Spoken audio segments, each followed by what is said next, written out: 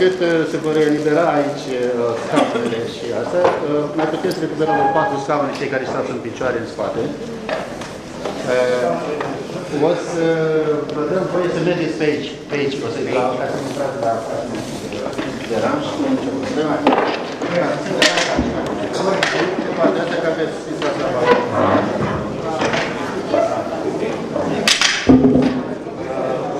Cine nu are loc acolo să-și ia un scăpam, mai știu fi Nu are. Ne iertați, facem o mică pauză. Suflete senine, să vină aici.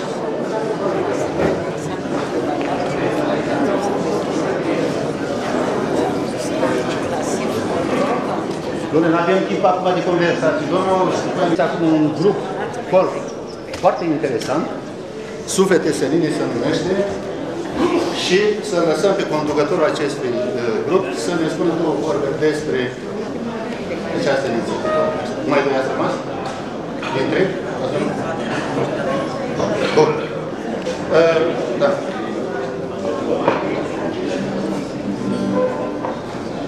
Bine v-am regăsit. Eu mă numesc Liviu, colegul meu Andrei. Suntem foarte onorați că suntem la dumneavoastră astăzi aici.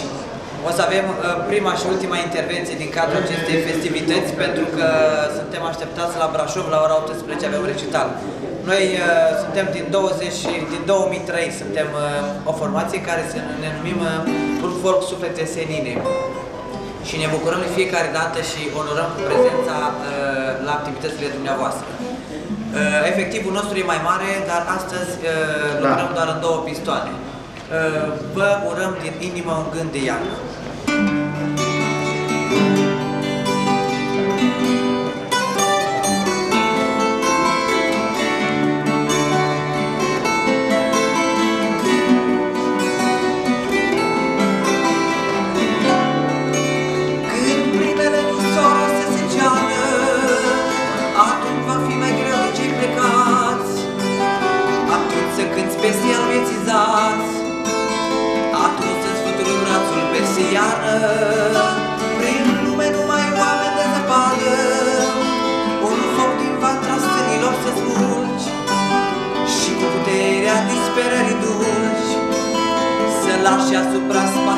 Cadă, să lași asupra spațiului să cadă, să cadă, să cadă și apoi să ningă mult ca frații grim și sub peste bronz să ne iubim.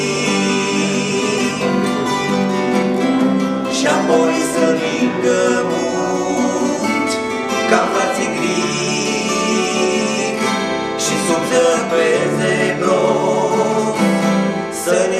ne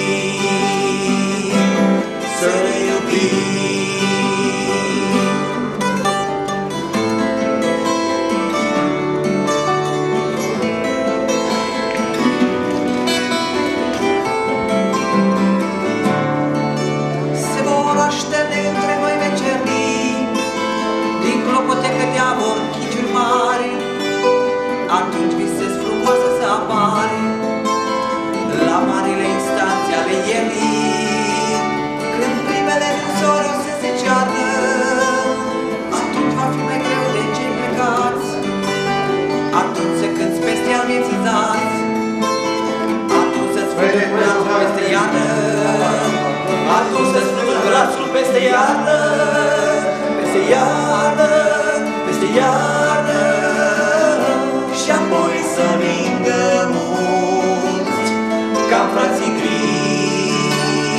Și sub zăpeze bronz să ne iubim.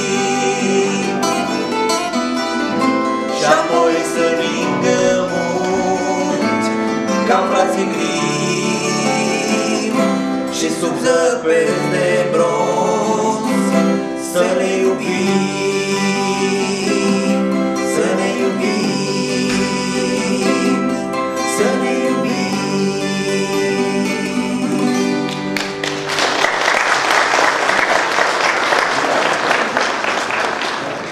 Doar un singur anunț ne grăbim, pe data de 20 decembrie, la Ateneu, la ora 19, eu împreună cu colegii mei vă oferim un recital gratis, adică intrare liberă și aș vrea ca toți cei care sunt prezenți aici să uh, ne însoțească în acest recital. Iată, am trecut într-o atmosferă foarte frumoasă. L-aș ruga acum să intrăm între ale noastre din cele scriitoricești, până la următoarea prezentare a grupului, să-l invităm pe criticul literar și redactorul șef al revistei 13+, Plus, profesorul Petre Isache, să ne spună o treabă scurtă în 3 minute. Este? Este. Aici, aici. Care sunteți în instanțe mai apropiate, puteți veni să vă vedem. Să vă vorbesc mai mult din față. De, de fapt, în primul rând să vă doresc un Crăciun pe măsura sufletului dumneavoastră. Adică uh, cu o stare de spirit care să învingă stereotipia și inerția prezentului. Uh, sigur că, fiind atâția artiști și scriitori, dacă ar fi să ne exprim așa o opinie personală, aș vrea mai multă, să spun, revoltă creatoare din partea dumneavoastră. Mai multe dorințe de a schimba în bine uh, prezentul și, sigur, viitorul. Toată admirația mea pentru toți cei care au contribuit la acest spectacol, toată lumea fiind foarte ocupată și, sigur, uh, pentru Victor Munteanu, pentru uh, toate asociațiile culturale care au creat această solidaritate atât de necesară în preajma Crăciunului. Încă o dată, sărbători fericite vă doresc! Am uitat să spun pentru colindători că trebuie să iasă să-și ia colacul și trebuie astea în partea asta. Când colindă să știe șeful că trebuie luat. Nu? De asemenea, îl invităm pe, la cuvânt pe scriitorul, pe esteticianul și criticul literar, profesorul Ioan Neacșu.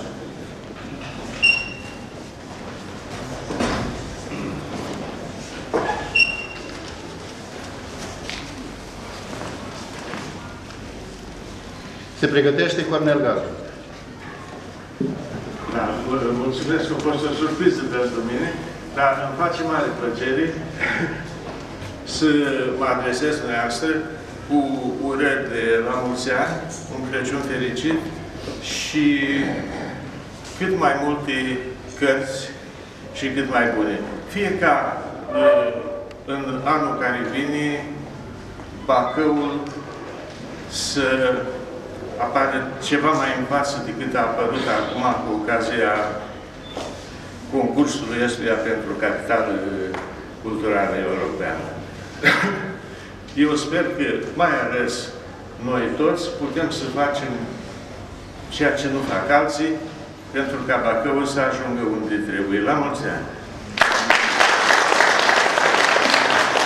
Pregătește Damian Nicolescu.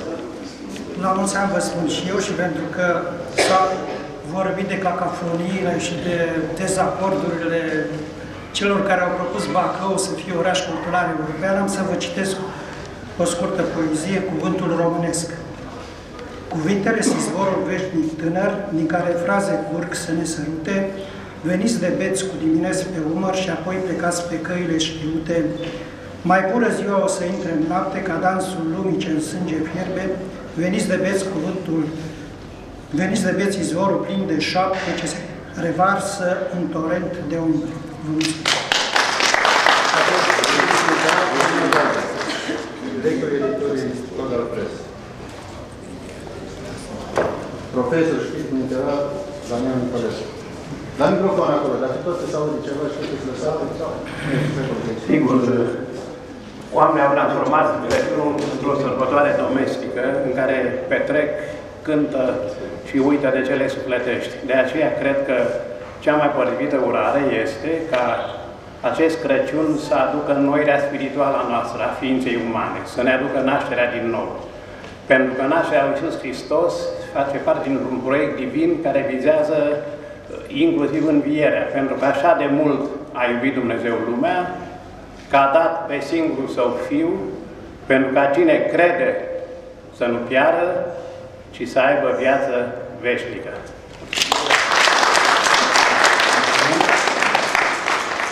Trecem la poezie.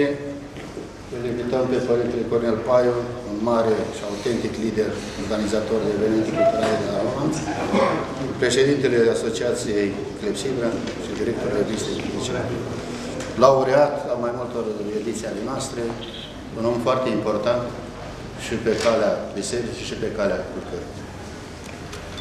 Hristos a născut. Adevărat. Mă gândeam la această expresie în timp ce ascultam colindele, uh, recitate și cântate atât de frumos de copii. Mă gândeam că am putea adăuga la titulatura evenimentului de astăzi și o sintagmă, numind, numind evenimentul Crăciunul scriitorilor copii. Pentru că scriitorii, până la urmă, într-o formă sau, altul, sau alta, uh, uh, rememorează copilăria în scrisul lor. Aș vrea să citesc uh, un poem sau niște rânduri din caietul de lucru. Cum să faci să nu-ți pierzi sufletul? Cum să-ți capeți iertarea? Cum să împlinești toate poruncile cu adevărat să le împlinești? Cum să faci să nu-ți pierzi sufletul? Iată câteva întrebări. Îmi place să vă să vă Până ajunge iarăși grupul aici, și să nu pierdem vremea, poetul Teodor George Calcan, un poet autentic al familiei românești, membru al scriitorilor. Dacă prea este, n-am Este, este. Monica, vede că se vede. O să revine ca să fie astea. Hai, dar pe drogul ăla. Greu de ajuns acolo. În sfârșit. Armata e bună.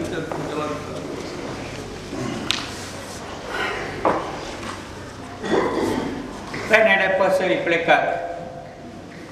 Obraz de faun mie sufletul acoperit cu o frunză îngălbenită de lume. Hidră cu capul de flacără, ai atâta putere, atâta putere, învăluie tu și ascunde sculptatul sicriu de lumină. Mușcă, alungă mândria, e numai un taur de fum pe lespede de sacrificiu a fricii. Înjunghiați nemilos suferința. Lacrima mea, alungindu-se, va fi o pană a păsării sub aripa căreia mă voi ascunde și voi pleca, mă voi duce.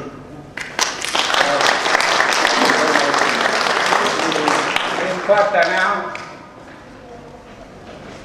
tuturor un Crăciun fericit și cât mai multă bucurie. Mulțumesc, domnule.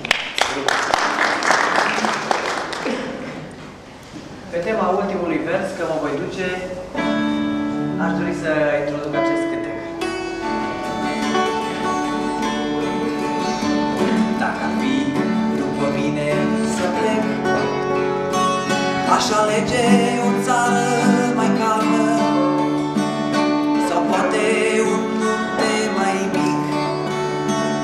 Dintre formele tale în palmă Sau poate un munte mai mic. Dintre formele tale în palmă Dacă ar fi după mine să iau Două, trei lucruri la care țin O poză cu tine, o mână de cărți Și cerul pe umeri foarte senin O poză cu tine, o mână de cărți Și cerul pe umeri foarte senin Dacă ar fi după mine să plec Aș fugi sigur mâine în zori. Dar cu tine ce fac, draga mea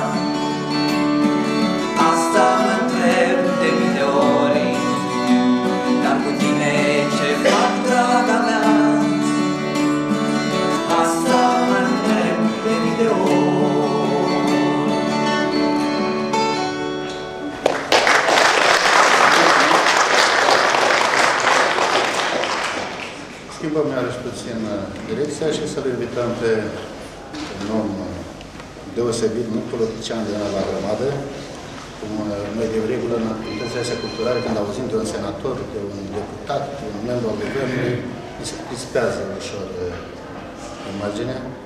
Aici e vorba de un om frumos, care ne știm de mult, un prieten de al familiei Leca, de Leca.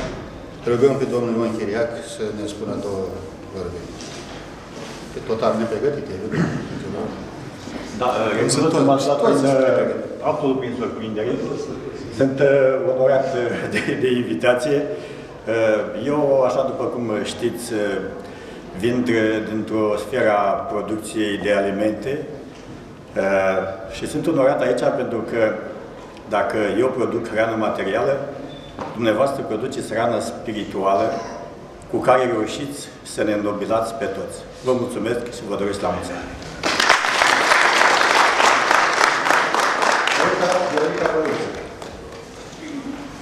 Mai întâi vă mulțumesc pentru invitație, pentru toți felicitări și Hai la microfon, că nu o să aude ce mă mai imediat.